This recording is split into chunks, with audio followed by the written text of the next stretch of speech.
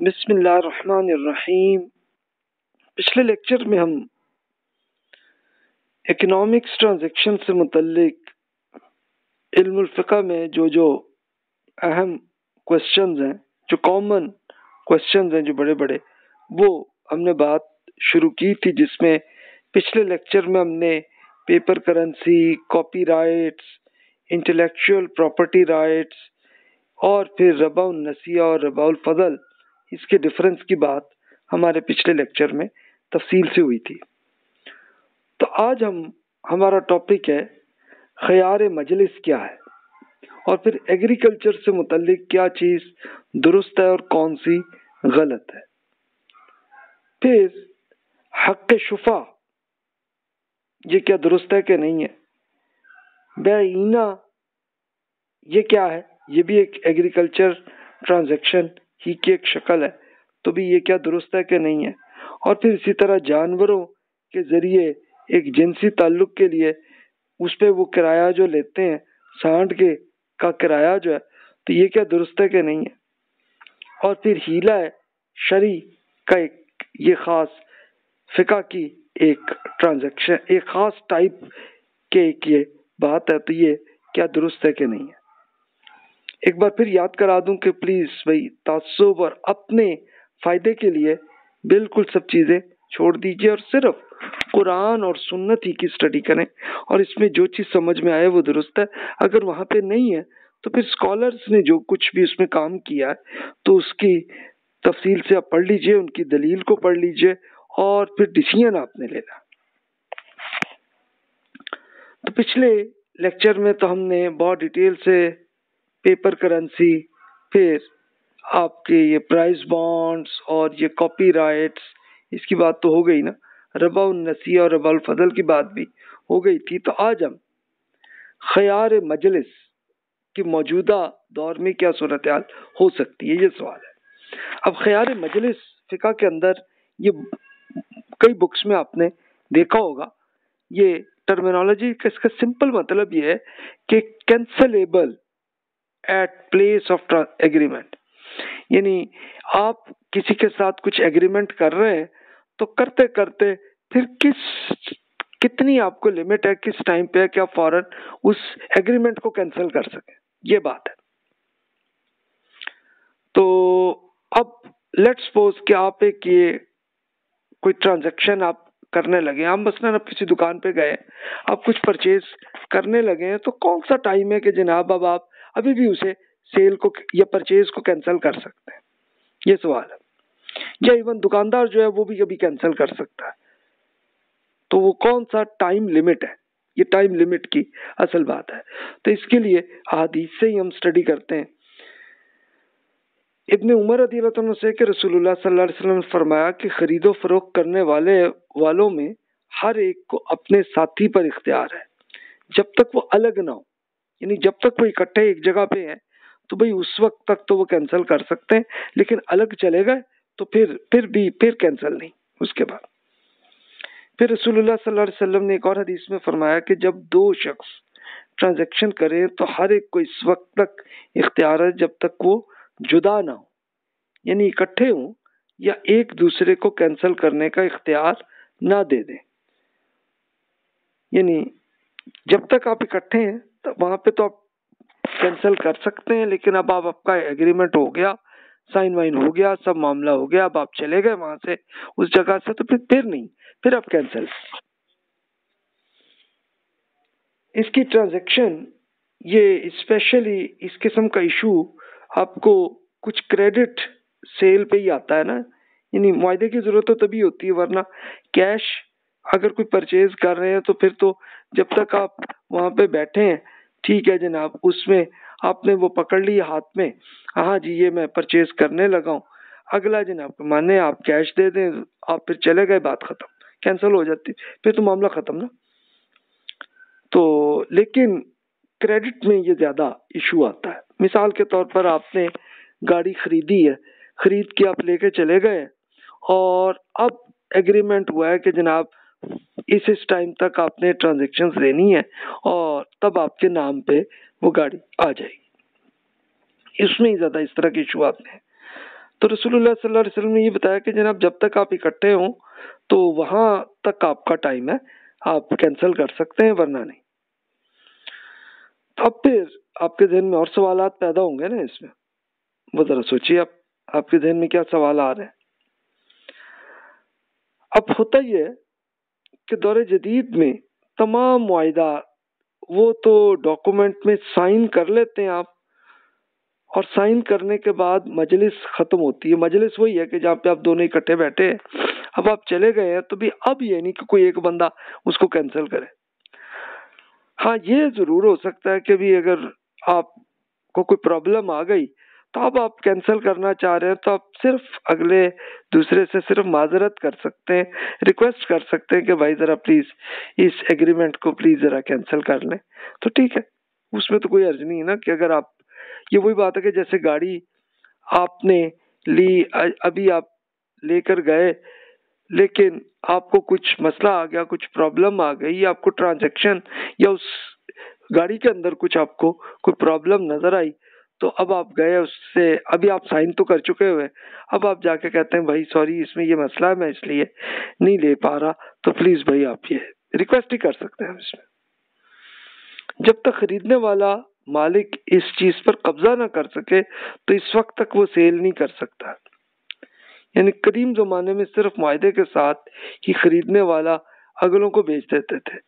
तो इससे फुकाहा ने फिर ये गैर कानूनी बना दिया था कि भी इससे बहुत से इख्तलाफात और लड़ाइयाँ होती थी। ये स्पेशल कैश ट्रांजेक्शन में भी होता था। मिसाल के तौर पर एक आदमी है, जनाब, उसने क्या किया कि जनाब दुकान पे गया, बात की हाँ जी, वो तुमसे जनाब ये चावल लेने वो लिया जनाब उससे। और ले के अभी उठाया नहीं, पकड़ा नहीं। पकड़े बगैर जनाब उसको एक और आदमी दूसरा मिल गया जो महँगे पे खरीदने को तैयार है। चलो जी, अगले ने बेच दिया। लेकिन अब वो जो अंदर, जो दुकानदार था तो उसको तो दुख होगा ना कि यार मुझसे मिसाल के तौर पर अभी ये मुझसे कोई वन हंड्रेड रुपीज़ किलो का अभी ये तय कर कर रहा था, हो रहा था, बात हुई थी और अब ये दो सौ रुपए किलो की बेच रहा। तो ये इस किस्म का था। तो इसलिए फुकाहा ने इसमें ये काम किया। भी इसमें आपस में इख्तलाफात होंगे, लड़ाई झगड़े होंगे तो इसलिए करो ही ना ये सिलसिला। जो करना है तो उठाओ, इस चीज़ को लो लेके जाओ, घर अपने, फिर जाके बेशक बेचो, जो करना करो। नामालूम अशिया का मुस्तकबिल में सेल का मुआदा नहीं किया जाए। यानी इसको गरज कहते हैं। अनसर्टेनिटी जिसमें हो, वो ना हो। इसकी एग्ज़ाम्पल आप ये सोच सकते हैं कि जस्ट लाइक ये आजकल होता है कि आप, जैसे अभी गाड़ी बनी नहीं, और आपने होंडा कंपनी से या लेट सपोज़ आपने टोयोटा कंपनी से या सुजुकी से, जिससे भी आपका अभी आपने एग्रीमेंट किया अगले ने तो अभी वो गाड़ी बनानी है। बना के आपको कई महीने बाद देनी है उन्होंने। तो इसलिए फुका कहते हैं कि जनाब, ये फिर मुआदा ही नहीं होना चाहिए ऐसा। क्योंकि वो चीज़ का पता नहीं ना हो सकता कि जब वो उसकी प्रोडक्शन वो करें तो उस प्रोडक्शन में कोई प्रॉब्लम आ जाए, कोई गलती आ जाए। कोई एरर आ जाए या कुछ उसमें पार्ट्स में कोई मसला हो, इस तरह का हो सकता है ना। अच्छा लेकिन इस तरह के मुआदे आप करते होते अपनी घर के लिए, अपनी बिल्डिंग के लिए आप ये मुआदा करते होते हाँ जी, आप ये पूरी बिल्डिंग बना दें। तो बनाते हैं, लेकिन जब वो बन जाती है तो फिर आपको नज़र आता है कि यार, इसमें इस चीज़ की कमी है, इसकी कमी है। ये मसला आता है ना तो वही बात है कि इख्तलाफ और लड़ाइयाँ हो सकती हैं उसमें। तो इसलिए फुकाहा ने इसमें कई फुकाहा ने अपने टाइम के लिहाज से उन्होंने रोका इसको कि ये ना करें। अच्छा एक और टाइप की ट्रांजेक्शन से माल मुतकवम यानी वैल्यूएबल हो तो तभी मुआदा हो सकता है। जिस चीज़ की कोई वैल्यू ही नहीं है तो फिर कोई ट्रांजेक्शन नहीं हो सकती। उसके लिए फुकाहा ने मिसालें दी, जैसे शराब, खंजीर, मुर्दार, भी इसमें कोई ट्रांजेक्शन कोई मुआदा कुछ नहीं हो सकता इसमें। अगर माहे में कैंसिल करने की शर्त भी है तो आप कर सकते हैं। अगर कर बैठे हैं आप गलती से माहा तो कैंसिल भी कर सकते हैं। एक पार्टी कैंसिल कर सकती है। यानी मिसाल के तौर पर एक चीज़ जिसकी कोई वैल्यू ही नहीं है। ये जैसे मिसाल के तौर पर देख देखने के बिल्कुल टूटे हुए कुछ खिलौने तो इसको आप माहा अगर कर बैठे गलती से तो आप कर सकते हैं कैंसिल तो ये अब पहले ज़माने में जैसे उन्होंने फुकाहा ने मिसालें दी हैं कि शराब तो चूँकि दीन में आराम है तो इसलिए उसकी कोई वैल्यू ही नहीं है। ज़ीरो वैल्यू है। इसकी कुछ नहीं है। इसी तरह खंजीर है या मुर्दार जानवर की लाश है तो इसकी कोई ट्रांजेक्शन की कोई हैसियत ही नहीं। तो उन्होंने इस पर ये फुकाहा ने ये बात की है।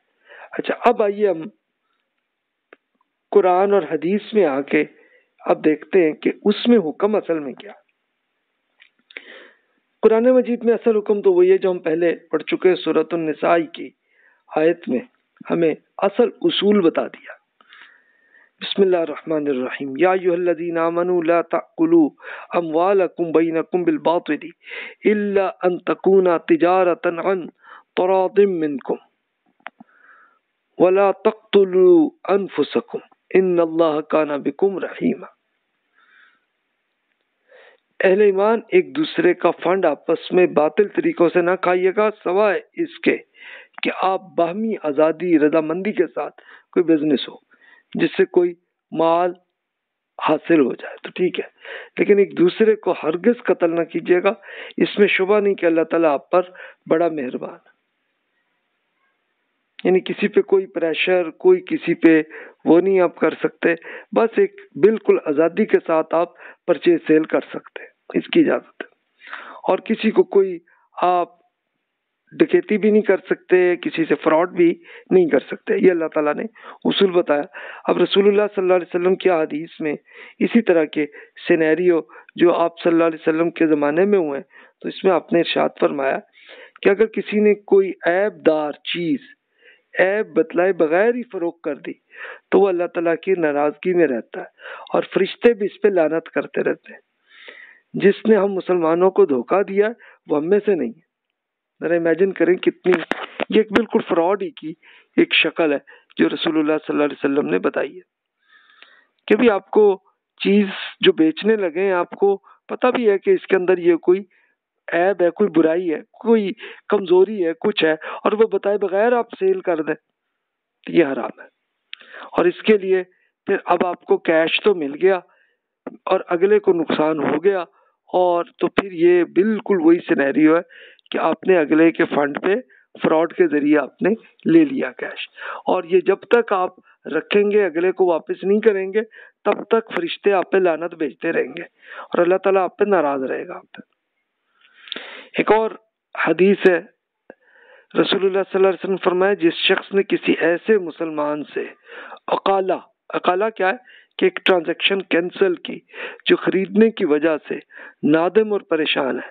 तो अल्लाह ताला क़यामत के दिन इसकी लफ्जिशों को मुआफ कर देगा। इकाला के लिए ज़रूरी है कि ट्रांजैक्शन इसी कीमत पर कैंसिल की जाए, जिस पर मुआदा किया जाए। कमी या ज्यादती की शर्त लगाना नाजायज़ है। यानी ये जब देखेंगे वो सिनेरियो है उस तरह का। ये वही, जैसे हम वो एग्रीमेंट की भी बात कर रहे थे। ये उसी से मुतलिक एक हदीस है कि आपने जैसे एक दुकान से कोई चीज़ परचेज की है, पैसे दे दिए, लेके गए, अभी रास्ते में थे, फिर आपको आया को ख्याल, आप वापस गए और अब आप कैंसिल कर रहे हैं उसको ट्रांजेक्शन को। तो इसमें फिर ये हुआ कि भाई ये ट्रांजेक्शन को आप जो कीमत पे आप कैंसिल कर रहे हैं अच्छा मुआदा किया था अभी ये क्रेडिट का, अभी आपने पेमेंट नहीं की, बल्कि अभी ये क्रेडिट की कोई प्राइस आपने तय की हुई है। हाँ जी, आपको जनाब मसलन बीस दिन के बाद या एक महीने के बाद आपको मैं लेट सपोज़ वन थाउज़ेंड दूँगा। लेकिन अब आप कैंसिल कर रहे हैं। तो कमी या ज्यादती की शर्त इसमें नाजायज है कि जो आपने एग्री किया हुआ उसी पे आप बात करें। अब आप उस कीमत को कैंसिल ना करें। कि ये भी वही एक तरीका है ना कि आप अगले के साथ कुछ बाद में अंदाज़ा हुआ तो आप वो जनाब वो ना करें। आप अगले के साथ ये ना करें मामला। फिर बुखारी की हदीस है, रसूलुल्लाह सल्लल्लाहु अलैहि वसल्लम फरमाया, किसी ने अगर कोई ऐबदार चीज़ फरोख की और इसकी खरीदार को इसका ऐब न बताया तो हमेशा अल्लाह की गजब में रहेगा, जिस पर फरिश्ते हमेशा लानत करते रहेंगे। फिर मजीद आपने फरमाया, अल्लाह ताला की मदद शुरका के साथ होती है, जब तक इनमें कोई ख़यानत ना करे। ख़यानत का मतलब वही फ्रॉड है। किसी के साथ ना हो तो अल्लाह ताला की मदद और बरकत रहती है आप पे। तो देखिए, असल बात यही है।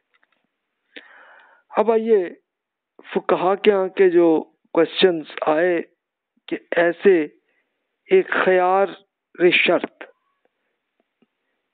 ये वही कैंसिल करने की जो ट्रांजैक्शन होती हैं तो उसके बारे में क्या सिनेरियो आते हैं?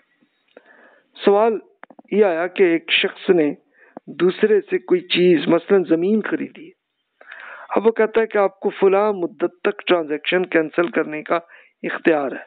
ये एक सिनेरियो हुआ। मिसाल के तौर पर उसने ज़मीन ली और कहा कि जनाब, मिसाल के तौर पर महीने बाद अभी उसने पेमेंट उसमें की नहीं और फिर बीच में कह रहा है, ये ट्रांजेक्शन वो जी कैंसिल करें जी मामले तो अहमद बिन हम्बल रहमतुल्लाह से ये पूछा गया सवाल।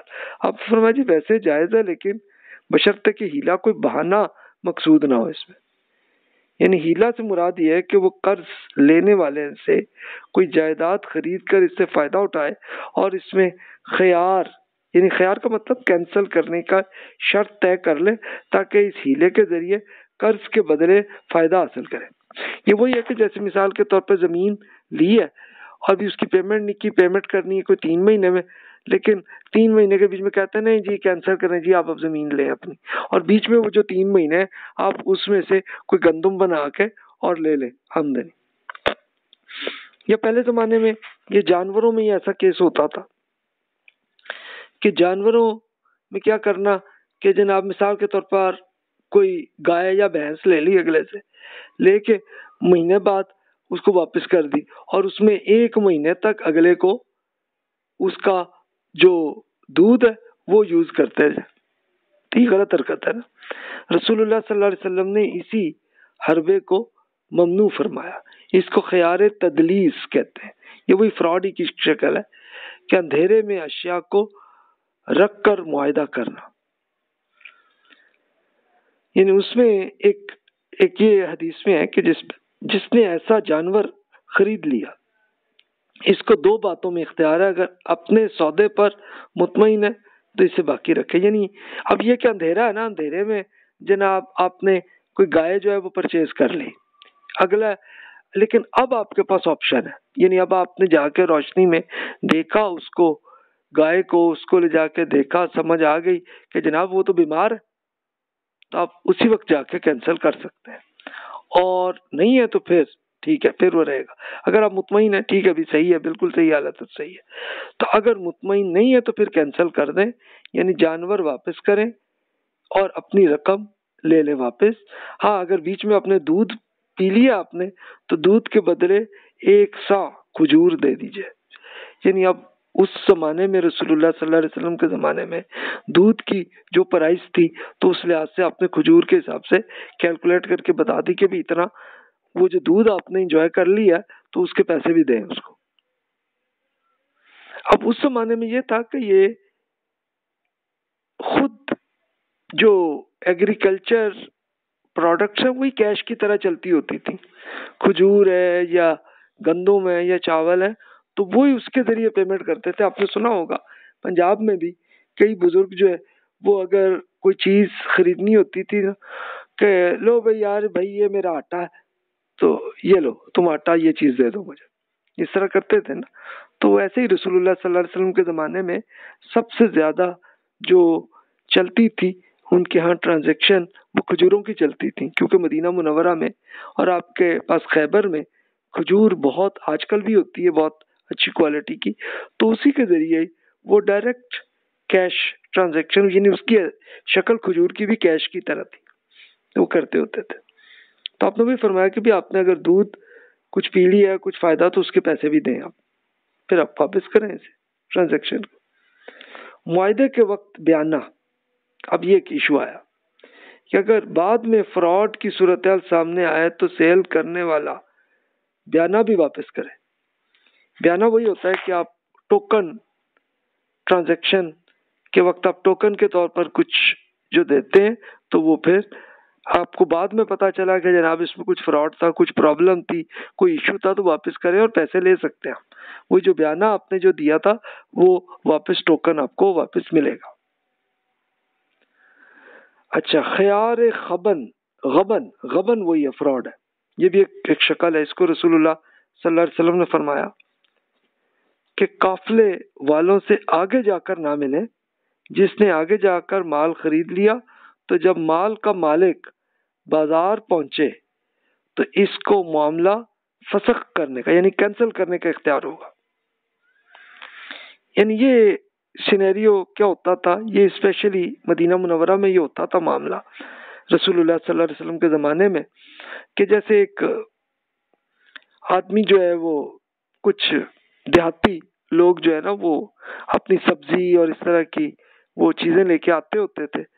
तो वो कुछ बिज़नेस वाले जो तेज लोग होते थे तो वो मदीना मुनवरा शहर में पहुँचने से पहले ही कहीं बीच में ही जनाब वो खरीदने लगते थे। खरीद लिया जी। अच्छा खरीद के अब उनको पता है मार्केट में लेट सपोज़ कि वो जनाब कुछ वन थाउज़ेंड रुपीज़ की है उसकी प्राइस लेकिन वो, अब वो देहाती बेचारे उनको पता नहीं होता था प्राइस कितनी है। वो अब अगले ने क्या किया कि वो बाहर ही, शहर से बाहर ही वो कुछ, वो जो पाँच सौ रुपए की वो जनाब ले ली चीज़। लेके जनाब फिर मार्केट में गए जाके हज़ार में बेच ली और जनाब फिफ्टी फिफ्टी परसेंट प्रॉफिट अपना ले लिया। तो रसूलुल्लाह सल्लल्लाहु अलैहि वसल्लम ने इससे रोका।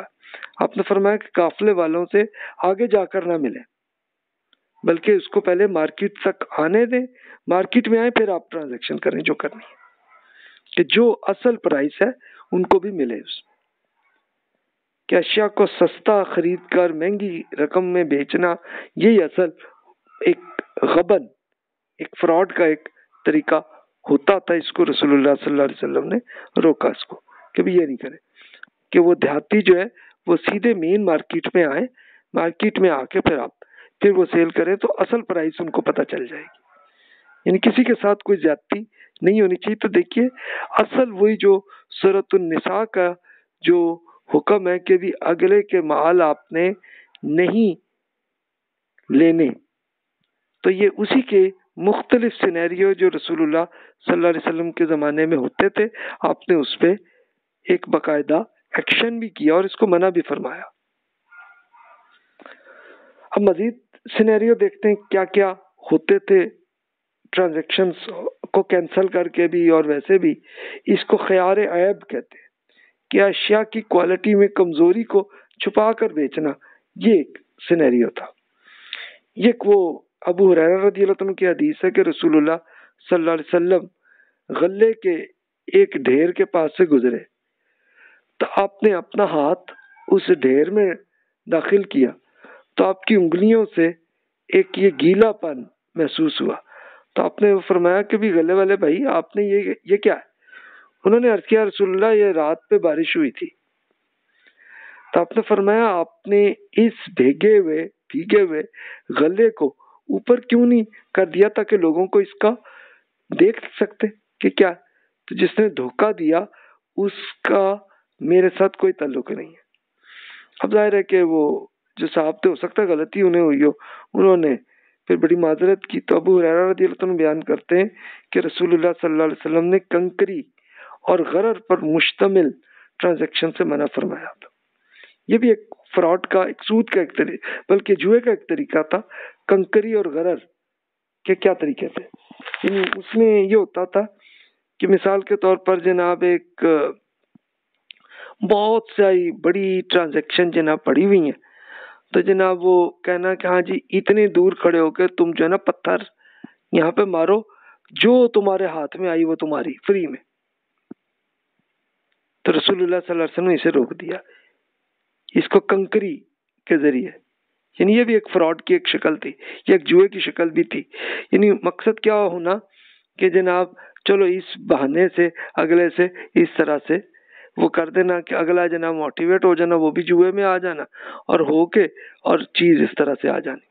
तो देखिए, इस तरह की ट्रांजेक्शन होती थी, इसको रोका गया। तो ये रसूलुल्लाह सल्लल्लाहु अलैहि वसल्लम के ज़माने में जो भी थी, इसको आपने रोक दिया। अच्छा और उसके लिए आप ये देखिए, इसी हदीस से ये मालूम होता है कि रसूलुल्लाह सल्लल्लाहु अलैहि वसल्लम हुकूमत चला रहे थे तो रसूलुल्लाह सल्लल्लाहु अलैहि वसल्लम खुद जाके प्रॉपर्टी को बल्कि एक एक ट्रांजेक्शन को ले जाके चेक भी करते थे तो ये चेक करने का ही तरीका था कि आपने एक गला, हो सकता कोई चावल होगा या गंदुम होगी, उसको ले जाकर के हाथ बीच में रख के चेक किया कि भी क्या है। तो देखा तो गीला है। तो लगता गंदुम ही होगी। तो इसको लेके आपने फिर रोका कि भी ये ना आइंदा कीजिएगा। और अगर आपने बेचना फिर भी चाह रहे हैं तो ये जितना भीगे हुए जितने इसको सामने आप आगे कर लें, फिर अगर लेना किसी ने ले, ठीक है? नहीं लेना, ना ले।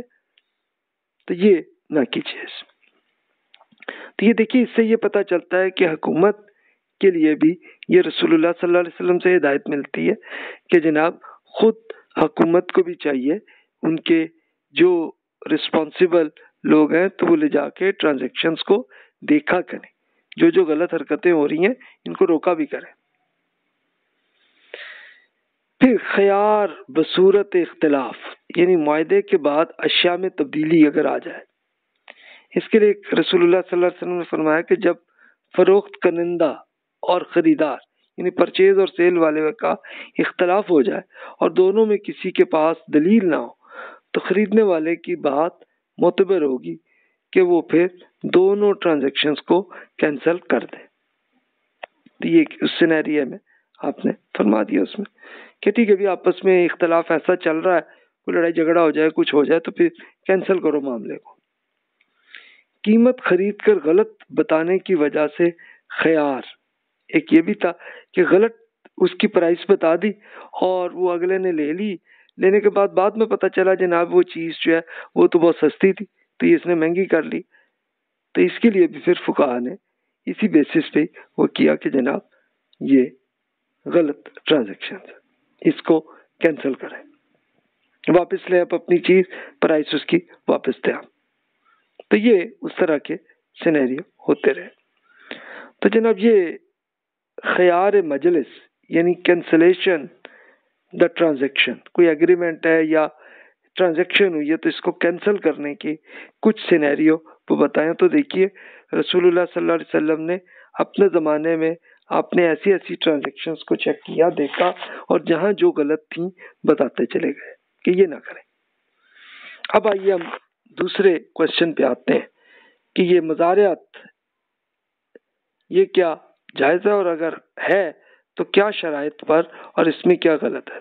इसके लिए हम देखते हैं कि रसूलुल्लाह सल्लल्लाहु अलैहि वसल्लम के ज़माने में ये मजारियत क्या होती है कि आप अगर तो खुद कर रहे हैं ना तो फिर तो कोई इशू नहीं। लेकिन दूसरे किसी से अगर ये करवा रहे हैं तो उसमें रसूलुल्लाह सल्लल्लाहु अलैहि वसल्लम की इरशादात क्या है? वहीं से आपको पता चलेगा और हमारे यहाँ क्या गलत हरकतें होती हैं। अब्दुल्ला बिन अब्बास रदी की राय यही है और वो फरमाते हैं कि नबी करीम सल्लल्लाहु अलैहि वसल्लम ने मुजारत से मना नहीं किया, बल्कि ये फरमाया कि अगर तुम में से कोई शख्स अपनी ज़मीन अपने भाई को मुफ़्त में दे दे तो ये इसके लिए इससे बेहतर है कि वो इससे कोई मुतन मुआवजा वसूल करे। यानी ज़मीन आपकी है। आपने अपने भाई को कुछ टाइम के लिए दिया, ठीक है भाई, तुम बना लो यार इसमें। एग्रीकल्चर कर लो। तो इसके लिए ये आपने फरमाया कि अगर फ्री में आप अगर दे दें अगले को तो ये ज़्यादा अच्छा आपके लिए। और अगर आपने कुछ रकम लेनी है तो जायज़ है। लेकिन अगर आप फ्री में करें तो आपके लिए अजर ज़्यादा है। फिर दूसरी हदीस है अबू हुरैरा रदी से कि जब महाजरीन मदीना मुनवर आए तो नबी करीम सल्लल्लाहु अलैहि वसल्लम ने इनमें, यानी मुहाजिर और अंसार वो थे जो मदीना मुनवरा के थे तो इनमें दोनों में माबैन मुआक़ात का रिश्ता कायम कराया। यानी वो क्या किया कि एक मदीना के एक साहबी को मक्का मुकरमा से जो हिजरत करके आए उनके साथ भाई करार दिया। तो वो खुश हो गया। तो एक अंसार ने आके रसूलुल्लाह सल्लल्लाहु अलैहि वसल्लम से दरख्वास्त की कि जनाब, इनकी ज़मीनों को आप तकसीम कर लें, कोई फिफ्टी फिफ्टी परसेंट करके महाजरीन को भी दे दें कि हमारे भाई हैं। तो ज़रा इमेजिन करें कि अंसार जो थे मदीना मुनवरा के, वो कितनी उनके यहाँ ये थी कि अपने भाई के साथ अपनी ज़मीन वो हाफ़ करना चाह रहे हैं। लेकिन रसूलुल्लाह सल्लल्लाहु अलैहि वसल्लम ने इसे तजवीज़ को रद्द किया। पसंद नहीं भी ये नहीं। कि भाई तुम्हारी ज़मीन है, ये नहीं कि आप जो है इनको अब दे दें। इस पर अंसार ने यह अर्ज़ किया कि जी, बागात की देखभाल की ज़िम्मेदारी हमारे महाजिर भाई कर लें। हम इन्हें फ़सल में हिस्सा, हिस्सेदार ठहरा देंगे कि जो जो भी प्रोडक्शन होगी, उसमें हम कर लेंगे फिफ्टी फिफ्टी परसेंट इसको रसूलुल्लाह सल्लल्लाहु अलैहि वसल्लम ने दुरुस्त करार दिया। कि ठीक है भाई, कि भी ज़मीन आप ही की है, इसमें से अब आप के ज़ाहिर है कि महाजिर भाई जो है, वो खेतों पे काम करेंगे, उसमें से जो कुछ भी आमदनी आएगी, उस आमदनी का फिफ्टी परसेंट आपका फिफ्टी परसेंट उनका इसकी इजाज़त दी, ठीक है? इसी तरह अब्दुल्ला बिन उमर रदीलानुमा कहते हैं कि रसूलुल्लाह सल्लल्लाहु अलैहि वसल्लम ने खैबर के खजूरों की दरख्त और वहाँ की ज़मीन इस शर्त पर खैबर के यहूदियों के हवाले कर दी कि इसमें अपनी जान और अपना माल लगाएँ और इसका आधा फल रसूलुल्लाह सल्लल्लाहु अलैहि वसल्लम के लिए होगा। यानी रसूलुल्लाह सल्लल्लाहु अलैहि वसल्लम को देने से मुराद कि उससे लेके फिर रसूलुल्लाह सल्लल्लाहु अलैहि वसल्लम तमाम मदीना मुनवरा के तमाम लोगों को डिवाइड करते थे, हर एक को देते थे जाके। यानी वही जो फिफ्टी फिफ्टी परसेंट का जो एग्रीमेंट हुआ था, वरना तो फतह हो गई थी। और यहूदियों को यही लग रहा था कि जनाब अब हमें निकाल देंगे। तो उन्होंने ही रिक्वेस्ट की थी कि जी हमें आप इजाज़त दें कि हम खैबर में ही रहें और ये पूरा काम हम करेंगे खजूरों पे। तो जनाब, उनको लग रहा था कि टेन परसेंट तो हमें मिल जाएगा, रसूलुल्लाह सल्लल्लाहु अलैहि वसल्लम ने फिफ्टी परसेंट उनको दिया और फिफ्टी परसेंट अपने पास रखा और ला के वो मुसलमानों को मिला। उसके लिए फिर वो भी आता है सैद आयशा रदीलाना बयान करती हैं कि फाइनेंशियली प्रॉब्लम्स बहुत अरसे तक रही मदीना मुनवरा में। लेकिन जब खैबर फतह हुई तो तब जाके सैदा आयशा रदीलाना बयान करती हैं कि तब जाके हमें सुकून मिला कि इतने फाइनेंशियल प्रॉब्लम्स में क्राइसिस की हालत में रही तीन जंगें भी हो चुकी हैं उस जमाने में। फिर मजीद हदीस में देखें, मुस्लिम की हदीस है कि राफे बिन खदीज रदी उनके यहाँ तो ये एक्चुअल ट्रांजेक्शन होती थी कि रसूलुल्लाह सल्लल्लाहु के अहद में, आपके ज़माने में हम अपनी ज़मीन काश्त के लिए दूसरे लोगों को दिया करते थे। और इनसे किराए के तौर पर फ़सल का तीसरा या चौथा हिस्सा या मुन मकदार में गला वसूल करते थे। यानी अब राफे रदी बयान वही करते हैं कि जनाब वो तीसरा हिस्सा, यानी थर्टी थ्री परसेंट या ट्वेंटी फाइव परसेंट वो आ गया या एक कोई बिल्कुल तयशुदा कोई जी इतना हिस्सा हमारा। तो वो बयान करते हैं कि एक दिन मेरे एक चचा है उन्होंने कहा कि रसूलुल्लाह सल्लल्लाहु अलैहि वसल्लम ने हमें एक ऐसे काम से मना फरमाया जिसमें हमारा फ़ायदा था। लेकिन अल्लाह और रसूल की बात मानना ज़्यादा फ़ायदे की बात है।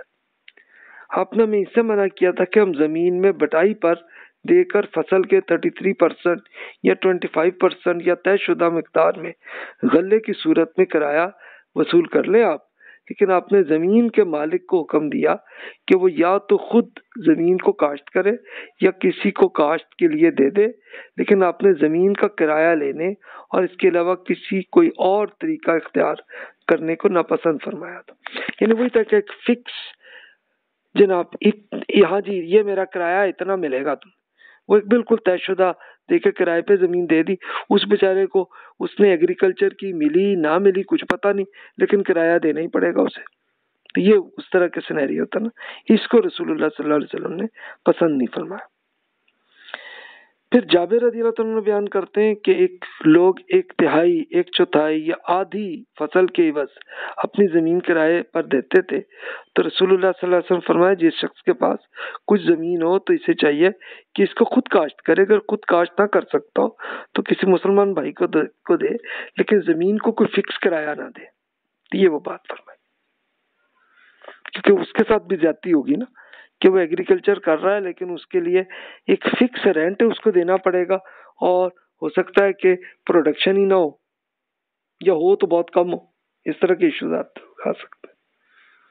फिर राफे बिन खदीज रदी बयान करते हैं कि रसूलुल्लाह सल्लल्लाहु अलैहि वसल्लम के ज़माने में लोग अपनी ज़मीन में किसी दूसरे को काश्त के लिए देते थे तो ये शर्त लगा देते थे कि पानी की नहरों और नालियों के करीब वाक़ जो ज़मीन का हिस्सा है, ये हमारा ये इसका में से जो उसका रिज़ल्ट आएगा वो हमारा। और पैदा होने वाली फ़सल, या फ़सल का इतना मुन मकदार इनकी होगी। फिर ये होता है कि कभी ज़मीन के इस हिस्से में फ़सल सही आ जाती है और दूसरे हिस्से का की फ़सल खराब हो जाती थी। और कभी इस हिस्से का नुकसान हो जाता और दूसरे हिस्से में अच्छी फ़सल आती। तो इस वक्त ज़मीन का किराया लेने का बस यही तरीका राइज था। तो इसे वसल्लम ने मना कर दिया। अलबत् अगर कोई मुतन मकदार मुआवजे के तौर पर तय की जाए जिसको अदा करना भी यकीनी तौर पे मुमकिन है तो फिर कोई अर्ज़ नहीं। इन्हें असल यही सिनेरियो था कि वो जो मालिक थे तो मालिक वही कहते थे, ज़मीन क्या? क्या जनाब ये बिल्कुल पानी के साथ का जो एरिया हाँ जी, इस ज़मीन में जो है, वो हमारा और जो दूसरी ज़मीन में से है, वो तुम्हारा। तो फिर वो होता क्या रिज़ल्ट कि जनाब जो भी पानी के पास है, वहाँ पे तो ज़्यादा ही आता था ना। तो इसको फिर रसूलुल्लाह सल्लल्लाहु अलैहि वसल्लम ने रोका कि नहीं जनाब, जो भी टोटल प्रोडक्शन है, उसमें आप डिवाइड करें अपने आप। ये ना करें कि एक आदमी अपना फिक्स करके अपना जनाब वो फ़ायदा ही ले, दूसरे को नुकसान हो।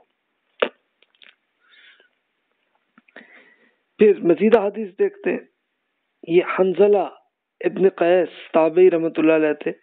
उन्होंने राफे बिन खदीज रदी से वही सिनेरियो पूछा उन्होंने, उनके स्टूडेंट थे हंजला तो इन्होंने राफे रदी ने बताया कि मेरे दो चचाओं ने बताया कि रसूलुल्लाह सल्लल्लाहु अलैहि वसल्लम ने साहबा कराम नालियों पर होने वाली पैदावार के इवज अपनी ज़मीन पर रेंट पर दिया करते थे। यानी साहबा अपनी ज़मीन को किसी दूसरे को इस शर्त पर देते थे कि जनाब वो शख्स अपनी मेहनत और अपनी बीज लगाकर इसमें काश्त करे और इस ज़मीन की, पानी की नालियों के किनारों पर जो कुछ पैदा होगा वो मालिक को मिलेगा। और इसके अलावा बाकी ज़मीन की पैदावार काश्त करने वाले का हक होगा।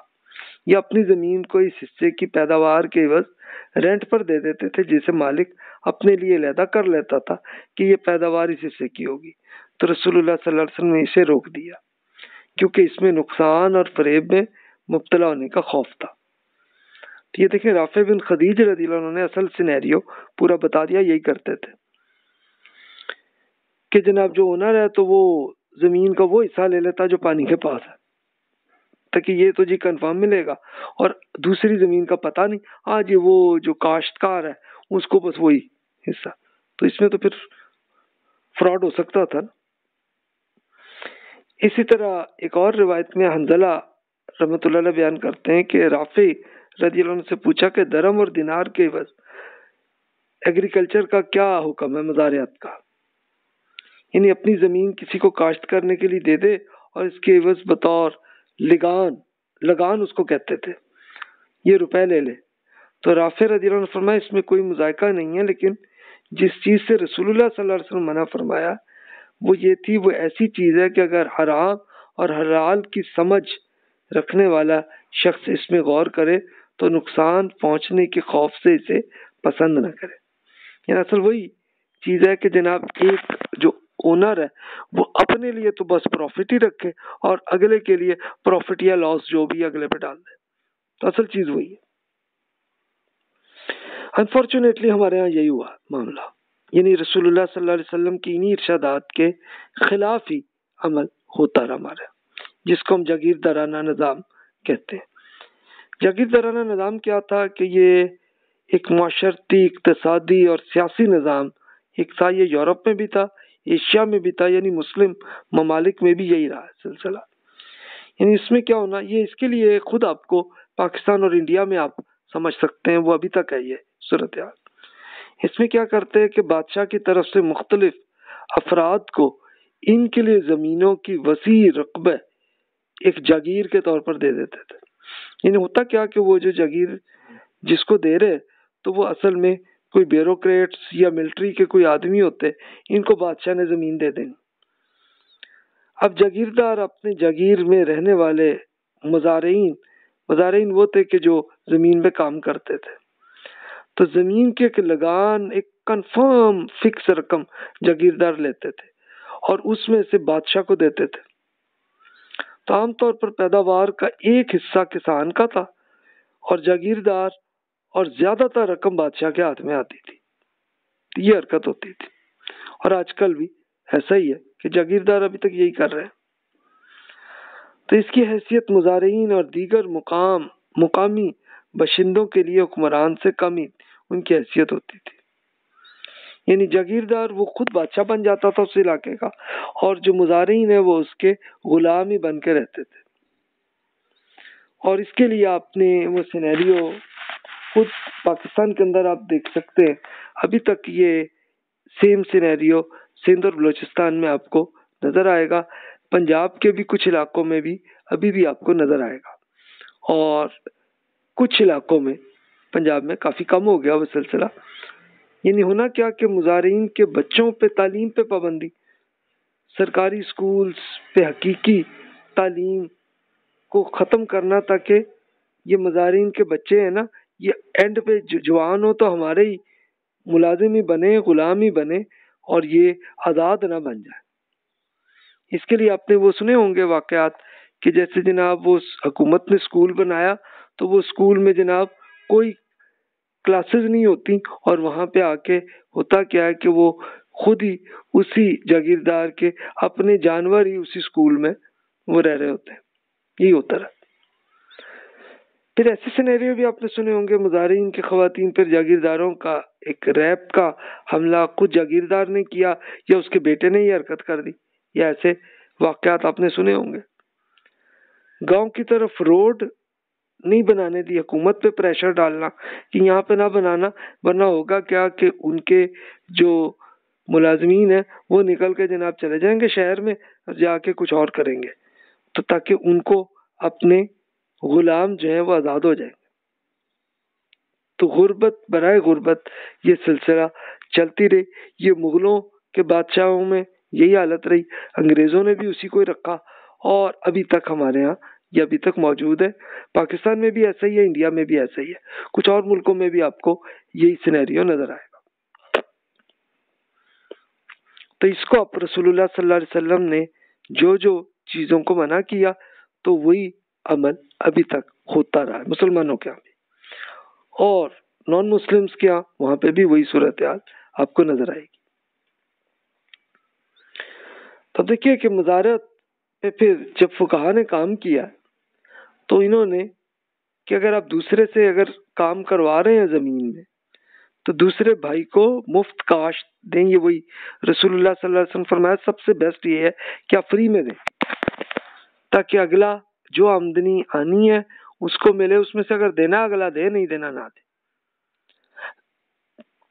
अब हुआ ये कि फुकहा में अबू हनीफा और उनके स्टूडेंट अबू यूसुफ रहमत इन्होंने मजारत के लिए आठ शराइत रखी हैं। अबू यूसुफ साहब के बारे में तो ये मालूम है हमें कि वो चीफ जस्टिस बन गए थे। और उस जमाने में चीफ जस्टिस यानी सिर्फ़ वो अदालत कोई नहीं चलाते थे, बल्कि पूरे ब्यूरोसी के जितने पॉलिसीज़ एंड प्रोसीजर्स हैं, वो इमाम अबू यूसुफ रहमत उन्होंने लिखी हैं बुक्स उसके लिए आप मिसाल के तौर पर मैं ये अर्ज़ करूँगा, किताबुल माल उनकी ज़रूर पढ़ लें। उसका तर्जुमा आपको उर्दू में भी, इंग्लिश में भी मिल जाएगा आपको। कि उस जमाने में कैसी ट्रांजेक्शन को उन्होंने लीगल और किसको इलीगल उन्होंने बनाया। तो इन्होंने अब ये एग्रीकल्चर मजारत के मामले में उन्होंने ये किया कि पहले तो ये कि जमान काबिल काश्त हो उसके लिए और वरना ज़मीन पे अब अगर कोई पानी नहीं है, कुछ नहीं है तो वहाँ पे फिर क्या उसके लिए ट्रांजेक्शन होनी? जो मालिक है ओनर है और दूसरा मजारे है, जो फार्मर है, इसमें आपस में मुआदा हो। टाइम भी तय कर लिया जाए। ये बात वाजे की जाए कि बीज किसकी ज़िम्मेदारी होगी और पानी की ज़िम्मेदारी किस पर होगी। जिसकी जिम्मेदार बीज नहीं है तो इसका हिस्सा की वजाहत भी की जाए कि जनाब, इतने परसेंट आपको प्रोडक्शन में आपका हिस्सा होगा, इतना मालिक का होगा, इतना फार्मर का होगा। मालिक ज़मीन फार्मर के सपुर्द कर दे और अपना अमल दखल या कंट्रोल ना करे इसमें, ताकि वो फिर कोई अगला जागीरदार, वो कोई प्रेशर ना डाले। पैदावार हासिल होने पर इसमें शरकत, जितनी पार्टनरशिप का मुकर्रा हिस्सा, एक बिल्कुल तयशुदा परसेंटेज के हिसाब से वो होना चाहिए। बीज की जिन्स का तयन करना कि क्या बोएगा, कि कौन, किसकी रिस्पॉन्सिबिलिटी है ओनर करेगा या फार्मर करेगा और उसके लिए बीज कौन लाएगा, ये सब पूरा होना चाहिए। अब देखिए उस जमाने में ये अबू यूसुफ रहमतुल्लाह को इंतकाल, उनका हुआ वन एटी टू हिजरी में। तो आप इमेजिन कर रहे हैं अब से बारह सौ साल से ज़्यादा अरसा गुजर गया उस जमाने में उन्होंने पूरे पॉलिसीज़ एंड प्रोसीजर्स बनाए। उनकी बुक में ये सब मौजूद है। दौरे जदीद में फिर मजीद चीज़ें भी आ, गई हैं ना कि जैसे ट्रैक्टर बीज खाद ट्यूबवेल दीगर मशीन मशीन इन सब की ज़िम्मेदारी किस पे होगी ये सब उस एग्रीमेंट में होना चाहिए। तो जनाब ये इसके लिए मजारत के लिए कहा ने इसमें ये काम किया। तो अब देखिए, ये एक एग्ज़ाम्पल है, कुछ और स्कॉलर्स ने मजीद इसमें ऐड किया। हो तो ये बिल्कुल क्लियर एग्रीमेंट हो और वैसा हो, लेकिन अनफॉर्चुनेटली पाकिस्तान इंडिया की हिस्ट्री में तो हमें पता है कि बादशाहों ने इस पर कोई अमल नहीं कराया, बल्कि इसके बरक्स यही हुआ कि जागीरदारों ने एक बिल्कुल अपने फार्मर्स को गुलाम ही बना के रखा रखा अनफॉर्चुनेटली अब आइए हम अगले क्वेश्चन पे पड़ोसी या पार्टनर्स के लिए एक हक शुफा। ये क्या जायजा क्या नहीं? हक शुफा क्या है? चीज़ क्या है? यानी एक आदमी बेच रहा है अपनी ज़मीन। तो इसके लिए कोई उस पड़ोसी पे क्या कोई इसके लिए है कि लाजमी वही ले या कोई और भी ले सकता ये इशू है। यानी जब कोई शख्स ज़मीन, मकान, दुकान, अपनी कोई गैर मनकूला गैर मनकूला जायदाद से मुराद कि जो अभी कुछ डिवाइड नहीं हुई है अभी तक लोगों में, एक ही ओनर है। वो बेचना चाहे तो पड़ोसी को आगाह करे कि जनाब मैं ये सेल आउट करने लगा अगर वो खरीदना चाहे तो मार्केट रेट के हिसाब से वो खरीद ले दैट्स ओके क्योंकि ये एथिकल और कानूनी एतबार से ये बिल्कुल ठीक है। अगर पड़ोसी खरीदने के लिए तैयार नहीं है तो फिर ठीक है, जिसको मर्ज़ी बेचे। इसके लिए हदीस हम पढ़ते हैं। जाबिर से कि रसूलुल्लाह सल्लल्लाहु अलैहि वसल्लम ने हर गैर मनकूला जो जायदाद तकसीम ना हुई हो तो इसमें हक शुफा दिया। यानी जब हद बंदी हो जाए और रास्ते बदल जाए तो फिर कोई शुफा नहीं। यानी ये असल में ट्रांजेक्शन क्या थी कि एक साहब फौत हुए तो अब ज़ाहिर है कि उनके औलाद फैमिली बेटे, बेटियाँ, बेगम, वो ओनर बन गई ना। लेकिन अभी वो जायदाद तकसीम नहीं हुई अभी, कि किसको कितनी, इसका ये हिस्सा, इसका ये हिस्सा। अभी नहीं हुआ। तो उसके लिए रसूलुल्लाह सल्लल्लाहु अलैहि वसल्लम ने हक शुफा वहाँ पे रखा कि मसलन अगर एक लड़का जो है, वो अपनी ज़मीन बेचना चाह रहा है तो भी उसके लिए पहले अपने भाई बहन उनको दे ऑफ़र वो ले लें। तो ज़ाहिर है कि उसके पास कुछ हिस्सा ना, और मिल जाएगा। ठीक है दैट्स गुड तो फिर अभी दूसरे के पास अभी ना जाए। पहले आपस में, अपनी फैमिली में ट्रांजेक्शन करें। ये वो बात थी। दूसरी हदीस में और तफसील है। जाबिर बयान करते हैं कि रसूलुल्लाह सल्लल्लाहु अलैहि वसल्लम ने हर शरीक चीज़ में हक शुफा मुकर फरमाया जो तकसीम ना हुई हो। घर हो या बाग किसी को जायज़ नहीं है जब तक अपने पड़ोसी को जिसके हद इस जायदाद से मिलती है, बताए बगैर बेचे। पड़ोसी चाहे तो ले ले, चाहे तो छोड़ दे, फिर जब मालिक ने पड़ोसी को बताए बगैर वो जायदाद बेच दी तो पड़ोसी बनस्बत किसी तीसरे शख्स के ज़्यादा हकदार है। ये फरमाया कि भी पहले आप पड़ोसी को ऑफ़र करें, वो लेना चाहे तो ज़ाहिर उसी को फ़ायदा होगा ना। फिर ये कि कोई नए बंदा आ जाए तो नया बंदा हो सकता है, उससे लड़ाई झगड़े चले। इसलिए रोका गया। फिर जाबिर से कि रसूलुल्लाह फरमाया, पड़ोसी अपने पड़ोस में शुफा करने का ज़्यादा हकदार है। अगर वो गायब हो जाए तो फिर इसका इंतज़ार भी कर लें, जब, जबकि उसका रास्ता एक ही हो। यानी असल में खेत का रास्ता एक ही है। तो भी फिर पहले अपने पड़ोसी को सेल करें। उसके बाद वो अगर अगला कहे कि नहीं जी, मुझे ज़रूरत नहीं है, फिर आप दें किसी को। अब एतदाल पसंद फुका जो है वो, इसमें ये कहते हैं कि जनाब, इन अदीस में हक शुफा का ताल्लुक उस प्रॉपर्टी से जो तकसीम ना हुई हो, या फिर के साथ कोई रास्ता एक हो। तकसीम हो तो फिर किसी पे हक शुफा नहीं है, फिर तो जिसको मर्ज़ी अगला सेल आउट करे। इन हदीस में ये अखलाकी अमल है कि पड़ोसी को बता दें कि अगर वो खरीदना चाहे तो खरीदे, इसमें कोई कानून नहीं है। हाँ अगर कोई नया पड़ोसी अगर आ जाए तो वो मुजरिम, कोई दहशत गर्द कोई डाकू किस्म का निकला है तो फिर हुकूमत इस खरीदने को रोक सकती है। यानी वो इस तरह का ना, ये आपके घर में लेट सपोज़ आपके पड़ोसी बेचना चाह रहे हैं अपने घर को तो ज़्यादा अच्छा है एथिकली के वो आपको और भी जितने पड़ोसी हैं सबको बता दें। जो लेना चाहे ले ले, नहीं ले तो फिर ये होगा कि नया आदमी आए तो नया आदमी हो सकता है कोई दहशत गर्द हो, या कोई डाकू निकल आए तो फिर उसके लिए हुकूमत ये कर सकती है कि उसी ट्रांजैक्शन को कैंसिल कर सकती है। कि नहीं जी, सिर्फ़ बिल्कुल रीजनेबल आदमी उन्हीं को ही दे। ये इस किस्म की कर सकते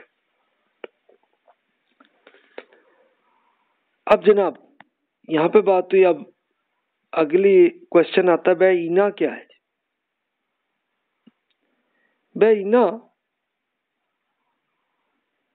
क्या चीज़ है? इसके लिए फिर फुकाहा ने तफसील से बताया कि कर्ज के तौर पे कैश लेना, सस्ती रकम पर अशिया खरीद लेना, फिर इसे बड़ी रकम में कर्ज दे देना। यानी लंबे अरसे में कैश हासिल करना और फिर कर्ज का इजाफा अदा करना। यानी ये असल में वही इंटरेस्ट की एक शक्ल है। यानी उसमें क्या होता रहा कि जनाब, आपने लेट सपोज़ कि आपने अपना फैक्ट्री का जो मटेरियल आपको चाहिए तो वो अभी आपके पास कैश नहीं है, आपने बैंक से ले लिया, लेकिन जनाब आपने बहुत सस्ती चीज़ें ले ली। लेके अब फिर क्या हुआ? क्या आपने मार्केटिंग की और वो उसमें प्राइस ज़्यादा बढ़ी? आपने सेल आउट कर लिया। सेल आउट करके अब वो जो कर्ज आपने लिया हुआ था बैंक को, उसको देंगे और सूद भी देंगे। ये वो चीज़ है। तो इसके लिए फिर इबन उमर अदीनुमा से रिवायत है कि रसूलुल्लाह फरमाया, जब आप ईना करेंगे तो जानवरों की दम के साथ, की दुम के साथ, कि इनकी देखभाल में मसरूफ हो जाएँगे। खेती बाड़ी ही को पसंद करेंगे और इस तरह जिहाद को छोड़ देंगे। तो अल्लाह ताला आप पर जिल्लत को मुसलत फरमा देगा और इस वक्त तक जिल्लत मुसलत रहेगी जब तक आप दीन को वापस ना लौट आए। यानी ये था कि रसूलुल्लाह सल्लल्लाहु अलैहि वसल्लम के ज़माने में मदीना मुनवरा पे हमले भी हो रहे थे। तो वो ईना क्या कर रहे थे लोग कि इस किस्म की वो ट्रांजैक्शन ऐसी कर रहे थे कि जनाब कैश ले लिया किसी से और लेके जनाब वो ट्रांजैक्शन करके और फिर उसमें, फिर वो प्रॉफिट आके और उसमें से अगले को भी इंटरेस्ट दे देना। इस तरह की हालत थी। तो इमाम मोहम्मद रहमत जो अबू हनीफा रहमत के स्टूडेंट थे, ये बड़े स्कॉलर गुजरे हैं तो वो कहते हैं कि मेरे नज़दीक ये खरीदो फरोख्त पहाड़ों की तरह सख्त और मजमूम है। इसको सूद खाने वालों ने ईजाद किया हुआ यह तरीका। तो ये असल सिनेरियो बता दिया। और अल्लाह ताला ने फिर इस पे एक एक्शन भी किया इंटरेस्ट पे। ये सूरतुल बकराई में फिर एक बकायदा एक्शन का हुक्म वो फरमाया रसूलुल्लाह सल्लल्लाहु अलैहि वसल्लम ने इम्प्लीमेंट भी कर किया उसे। तो इरशाद है। बिस्मिल्लाहिर्रहमानिर्रहीम। या अय्युहल्लज़ीना आमनुत्तकुल्लाह वज़रू मा बकिया मिनर रिबा इन कुंतुम मुमिनून फ़इल्लम तफ़अलू फ़अज़नु बिहर्बिम मिनल्लाहि व रसूलिहि व इन तुब्तुम फलकुम रुऊस अमवालिकुम ला यज़लिमूना वला तुजलमून ला तुजलिमूना वला तुजलमून व इन काना जू उसरतिन फनज़िरतुन इला मैसरा व इन इन कुंतुम तालमून वत्तकू यौमन फीही इलल्लाहि सुम्मा तुवफ़्फ़ा कुल्लु नफ्सिन मा कसबत वहुम ला तुजलमून कहले ईमान अगर आप सच्चे मोमिन हैं तो अल्लाह से डरिए और जितना सूद बाकी रह गया इसे छोड़ दें। लेकिन अगर आपने ऐसा ना किया तो अल्लाह ताला और इसके रसूल की तरफ़ से जंग के लिए वार्निंग के लिए तैयार हो जाए। अगर आप तौबा कर लें तो इस रकम में जो कैपिटल इन्वेस्टमेंट आपकी है, वो आपका हक है। ना आप किसी पर जुल्म करें, ना आप पर जुल्म किया जाए। और मकरूज कभी तंग दस्त हो तो हाथ खुलने तक उसे मोहलत भी दें। और अगर आप छोड़ दें तो ये आपके लिए बेहतर है, अगर आप समझ रहे उस दिन से डर जाए कि जिस दिन आप अल्लाह ताला की तरफ़ लौटाए जाएँगे, फिर हर शख्स को इसकी कमाई वहाँ पूरी मिल जाएगी और लोगों पर कोई जुल्म ना होगा। तो अब आप सर ये देखें कि ये, यही ट्रांजेक्शन हो रही थी तो इसको अल्लाह ताला ने हुक्म दिया। और असल में फिर ये आया कि बस आपका इतना ही है कि जो आपका असल, आपने किसी को क्रेडिट में कोई कैपिटल अमाउंट आपने दिया, वही आपका हक है और मजीद आपको कुछ नहीं है। मजीद जो इंटरेस्ट है आप नहीं ले सकते और याद रखें कि फिर इसके लिए इसी ज़िंदगी में वार्निंग भी कर दी कि अल्लाह और उसके रसूल के साथ जंग के लिए तैयार हो जाए। और रसूलुल्लाह सल्लल्लाहु अलैहि वसल्लम ने फिर बाकायदा ऐलान भी कर दिया आपने। और ये आपने आखिरी हज पे ये पूरा ऐलान किया कि जनाब, ये सब ट्रांजैक्शन ख़त्म कैंसिल और इसके लिए रसूलुल्लाह सल्लल्लाहु अलैहि वसल्लम ने आपके अपनी फैमिली के लोग के जो अभी ईमान नहीं लाए थे, उन्होंने ट्रांजेक्शन ऐसी की हुई थी, सबको कैंसिल कर दिया। पहले उनको किया। फिर आपने दूसरे लोगों के लिए फरमा दिया कि ये और सारे ईमान ले आए थे, सबने छोड़ दिया। फिर जंग ही नहीं हुई। वरना एक बकायदा एक बकायदा, एक एक पुलिस एक्शन होना था। तो वो नहीं हुआ। और इसके लिए अल्लाह ताला ने बताया कि जनाब, इसमें आप अगर आप देखें कि अगला फाइनेंशियल प्रॉब्लम्स में तो आप मोहलत दें और छोड़ दें तो ज़्यादा अच्छा और अल्लाह ताला ने इसकी गारंटी भी दे दी कि जनाब आपको इसका पूरा अजर आपको मिल जाए। आप पे भी जुल्म नहीं होगा और दूसरे पे भी ना करें। तो असल उसूल यही अच्छा जनाब, अब दो क्वेश्चन जब रह गए, ये भी हम कर लेते हैं कंप्लीट इसे, इस तीन ट्रांजेक्शन पे। कि एक नर जानवर को जिनसी ताल्लुक के लिए किराए पर देना क्या जायज़ है कि नहीं? ये होता है ना, आप देहाती लोग ज़्यादा बेहतर समझते हैं कि जैसे गाय कुछ, बाकायदा वो चीखें निकालती है कभी वो जा रही है इस दवाजी ताल्लुक के लिए। तो अब आपके पास कोई मर्द नहीं होता। मर्द से मुराद के वही कोई ऐसा सांड नहीं होता। तो लोग फिर यही करते हैं ना कि वो दूसरा जिसके पास सांड है, उसको कहते हैं, वो कहता है अभी किराए पर ले लो, इस पे इतना किराया दो। अब वो उतने दिन तक क्या होगा? उतने दिन तक जितना भी किराया है तो वो गाय वाला वो देगा उसको। और अब वो इजवाजी ताल्लुक होगा, तब ले जाके जो बच्चे पैदा होंगे, और ऊँट, और सॉरी, ऊँटनी या गाय जिसकी भी ये मामला चल रहा है तो उससे दूध भी ज़्यादा आता है उससे। तो वो इसलिए वो फिर रेंट देते तो असल मकसद ये है। तो लोग अक्सर ये हरकतें करते रहे अभी भी कर रहे हैं, आजकल भी। तो इसके लिए फिर एक कुछ में ये भी आया कि चलो भी अब ये रेंट नहीं दिया दे रहे लेकिन ये हुआ कि अब जनाब जो अगला बच्चा पैदा होगा गाय में तो जनाब इसमें से फिफ्टी फिफ्टी परसेंट का आपस में, यानी वो जो सांड का ओनर है, उसको भी फिफ्टी परसेंट मिला और उसको भी मिला।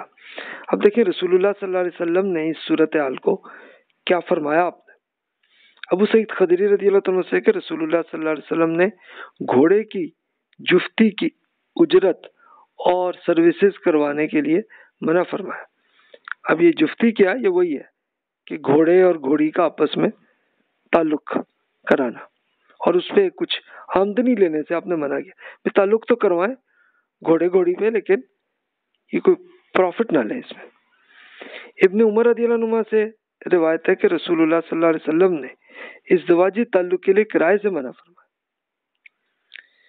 फिर एक हदीस जो आप पहले सुन चुके अगर आपने वो तलाक वाली हदीस सब सुन चुके हैं तो ये वही है। अकबा बिन आमिर से है कि रसूलुल्लाह सल्लल्लाहु अलैहि वसल्लम ने फरमाया, अगर मैं आपको किराए के सांड के बारे में ना बताऊँ साहब कराम ने अर्ज़ किया हाँ जी, फरमाइए। तो आपने फरमाया, वो हलाला करवाने वाला अल्लाह ने हलाला करने वाले और उस शख्स पर लानत फरमाइए जिसके लिए हलाला किया जाए। यानी ये क्या थी? ये वो सांड है कि जो मर्द वो अपनी बेगम से ताल्लुक करवाता। तो उसके लिए लानत फरमाई और जो कर रहा है उस पर भी, दोनों के लिए। तो इस तरह की, और ये तलाक के केसेस में लोग करते रहते हैं, ऐसी हरकत। तो भी ये कोई कोई अच्छी हरकत नहीं है।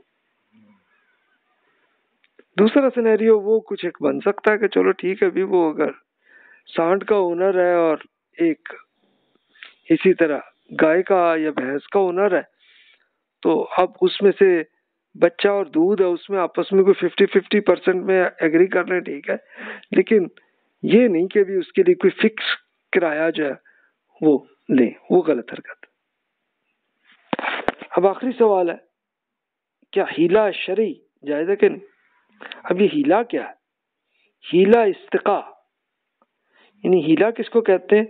कोई ऐसा तरीका निकालना कि जिसमें हीला, शरी गुना और हराम से बचने और मासीत यानी गुनाह का दरवाज़ा बंद करने और शरीयत के दायरा में रहने वाले हलाल को तलब करने वाले को किसी काम को हीला कहते हैं।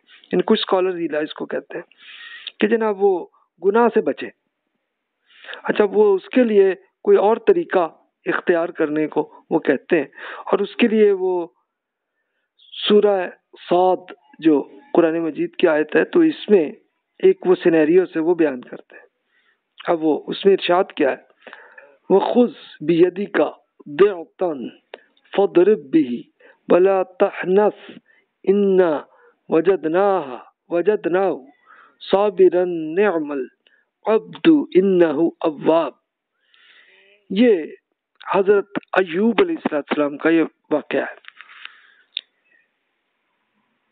तो मजीद फरमाया उनको कि अपने हाथ में पत्तों का एक मुट्ठा ले लीजिए और इससे अपने आप को मार लीजिए, क्योंकि अपने को सजा देने की जो कसम आपने खा ली थी, इसमें सजा ना हो। हकीकत यह कि हमने इन्हें हर हाल में सब्र करने वाला पा लिया। क्या ही खूब आदमी थे। कुछ शक नहीं कि वो अपने रब की तरफ़ बड़े ही रुजू करने वाले थे। यानी हुआ क्या था? हज़रत अयूब अलैहिस्सलाम बहुत बीमार थे और बीमार होते होते उन्होंने ये कुछ एक कसम खा ली थी कि भी ये कुछ मामला हो जाए मेरा तो मैं फिर मारूं अपने पे।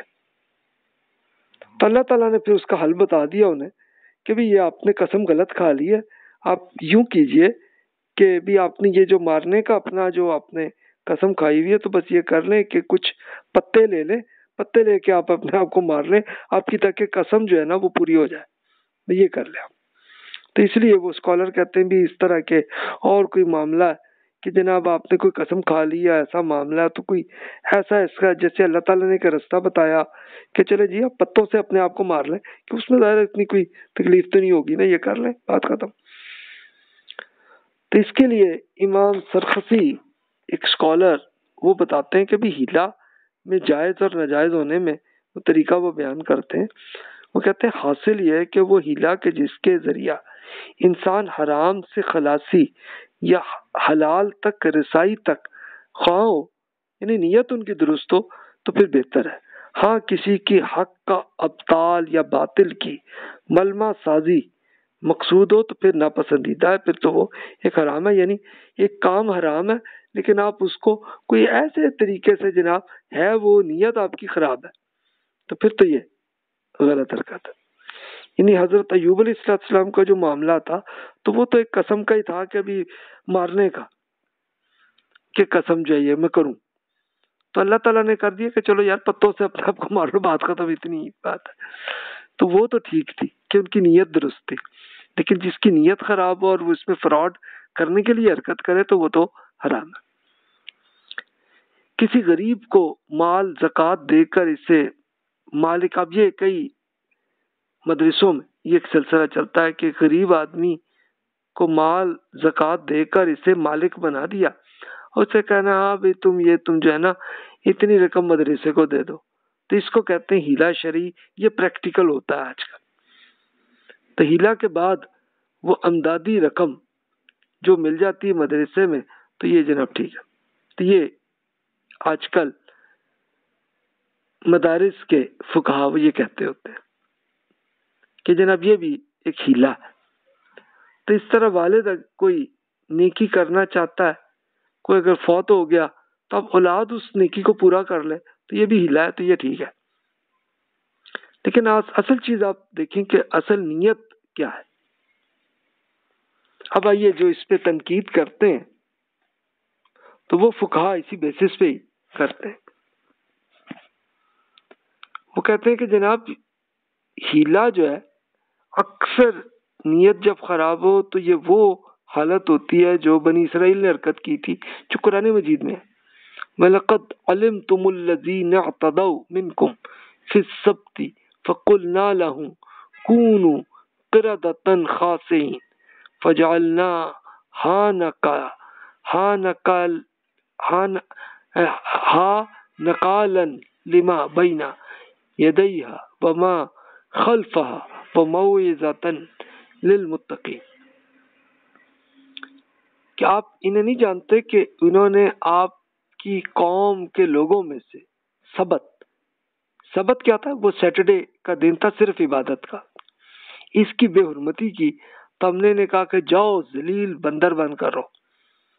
इस तरह के इनकी इस शहर को जिसमें इन्होंने सबत यानी इबादत का खास दिन यानी हफ़्ते की बेहरमती की थी और हमने इसकी गर्दो पेश के लिए एक नमूना इबरत और अल्लाह ताला से वार्निंग करने वालों के लिए एक, एक ज़रिया नसीहत बना दिया था।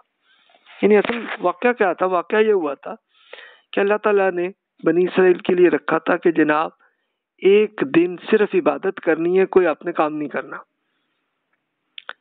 तो अब होता यह था कि ये उस शहर में, ये समुंदर के पास था और हफ़्ते को इनको लगता था उस पर मछलियाँ ज़्यादा आती तो उन्होंने अब ये सोचा कि यार, अब यार ये इसमें बड़ी आमदनी आती है। तो उन्होंने तरीका क्या निकाला? हफ़्ते में वो जनाब, वो ठीक है जी, हम तो इबादत ही करेंगे, हम नहीं काम करेंगे।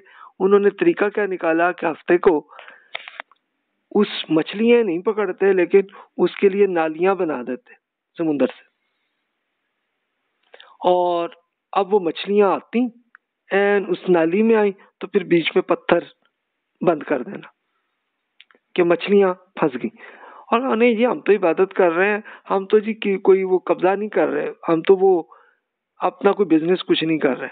और जाके जनाब वो आके, जो भी नमाज़ पढ़नी है, पढ़ के आके, अगले दिन इतवार को जाके मछलियाँ पकड़ लेनी, लेके बेचनी उन्होंने दुनिया में। ये हरकत थी।